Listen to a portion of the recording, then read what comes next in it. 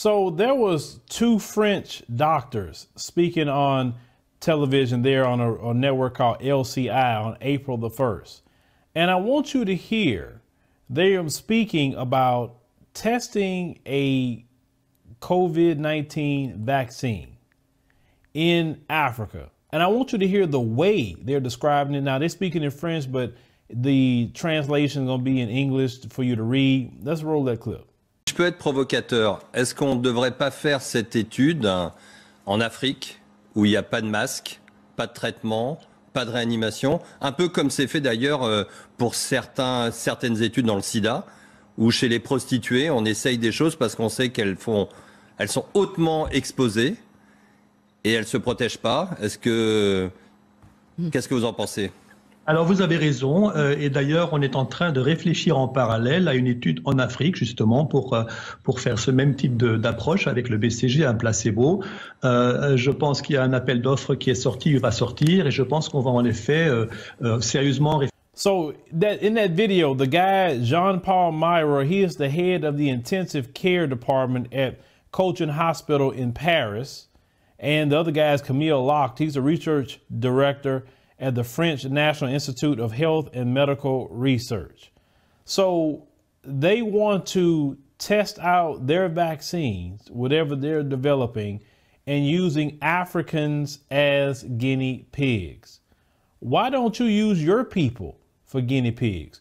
Why don't you pay your people money to put their life on the line? And listen to what he was saying. He said they want to do that over there because they don't have no masks no treatment, no intensive care. See, the border is being shut down to all these Western people. That is a good thing for Africa. Trust me. The longer that go on, the better Africa can be because right now they're seeing that they need to be self-sufficient and stop depending on China. Then you have uh, France want to just run rampant all over West Africa. That's exactly where they would go. They would go to West African nations. They still have a hold on to be doing this. I mean, this is sick. This is wrong. Now, a brother by the name of Samuel Eto'o, if I'm saying it right, brother, he is a Cameroonian football legend. Of course, it means soccer. Now, he called them assassins, in which the brother was right. He says that um, they have a colonialist mindset. He said, Africa is not your playground. That's what the brother stated. And people went off when they seen this clip. The television network removed the talk show recording from their website and social media pages without even commenting on the incident at all because they knew good and well they were wrong, but they should have put out some sort of statement. But let me tell my brothers and sisters something on the African continent. And I got to be very limited on what I say here. Stop letting these people come to your countries and sticking something in your arm. Tell them take that back to their country and stick in their own people arm. That's what they need to do. Don't let them fearmonger you. Don't let them say you don't have the medical facilities to handle this. And listen, I'm in the United States of America and they can't handle it. Look at them. Look at the press conferences. You guys got access to see the internet. Donald Trump got up here saying that 100,000 or 200,000 people could possibly die. The Pentagon is ordering 100,000 body bags. Don't seem like a country that got their act together, right? So if America don't have their act together, don't feel bad with that situation. And y'all don't even have the problem. Y'all don't have that mess going rampant all over the country. The thing is, it's happening more in Western nations, okay? That's what is happening at. It's not rampaging all over the continent like that. It's not. Is it there? Yes. But it's not rampaging like it is in these Western countries. So they want to leave their country, probably going to bring that mess to you guys, and they want to use poor people who just trying to get by and want to stick things in their arm to see if it works or not. How many Africans you going to take out that way? You get what I'm saying? It's time for Africans on the continent to be just as aggressive as you are to your fellow brothers and sisters who could be a different country or a different tribe because some of you, you very tribalistic, very. I'm not them, they not me. I don't like them because they from West Africa. I don't like them because they from East Africa.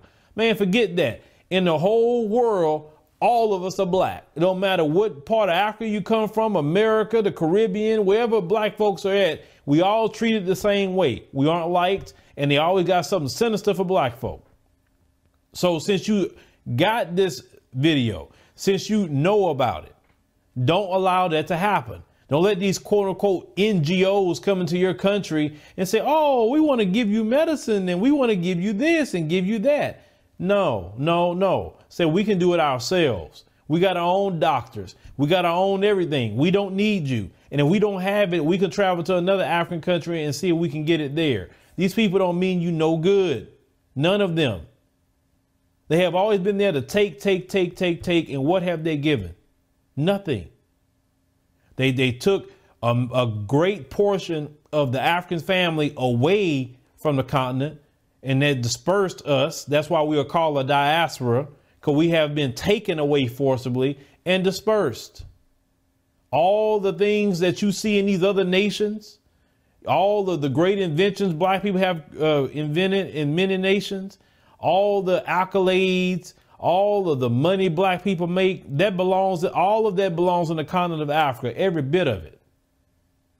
So these people have no right to come in and try just to stick things in your arm just to see if it works or not. And then after how many Africans pass away from what they're doing, then they take they take it back to uh, their countries and say, okay, it works now. After I didn't probably didn't kill about a thousand Africans in the process, or now I can inject you with it now since we know it works. Forget that. Tell them go do it to their own people.